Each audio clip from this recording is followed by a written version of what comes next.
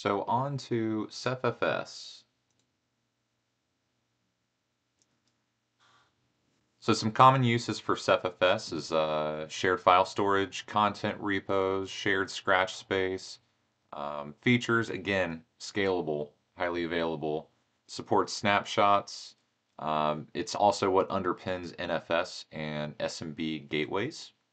And it's easy to deploy uh, the MDS services via our GUI.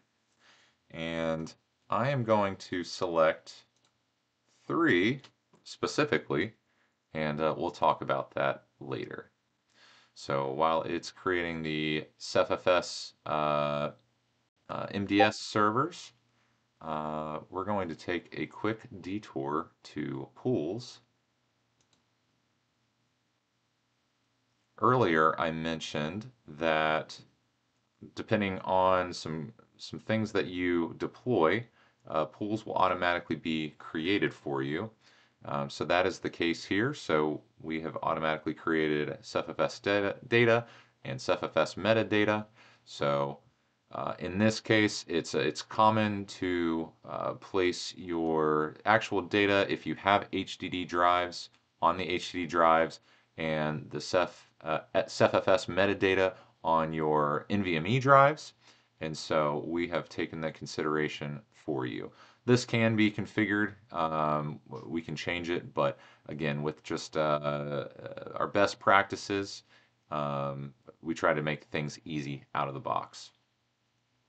We also have a built-in file explorer. So it's easy to make folders like so. We can also make uh, use of extended file system attributes like setting a pool um, specific to each folder. So you could have a, a you know an erasure code uh, folder. You could have a replication 3 folder all within uh, the same folder structure. And if we click on a folder and edit, we can see some of the attributes that we can change. Again, um, if we had multiple CephFS data pools, um, we would be able to select that here. We would be able to, uh, if we had a namespace set up, uh, specify this folder for that namespace. Uh, we can also uh, change the permissions and the quotas for this folder. In addition to that, we can see what clients are using the uh, folders and we can do things like evict.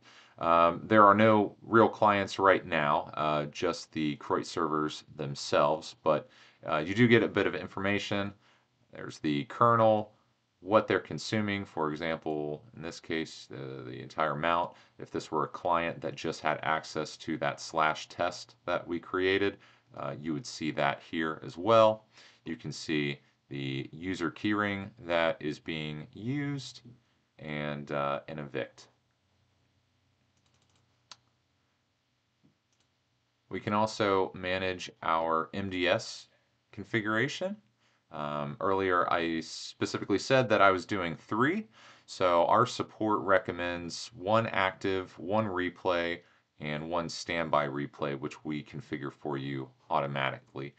Um, generally, this is a, this is good practice. The only time you need multiple active uh, MDSs is basically just if one active isn't able to keep up. Uh, and for the most part, that's just in very, very busy environments. So this is an example of information that varies wildly on the internet, um, but this recommendation comes from our 400 plus customers. So um, we oftentimes know the most dependable ways of doing things, which is a huge strength from our standpoint. Um, and with that knowledge, we can make prudent decisions uh, in our management software. We can also create snapshot schedules.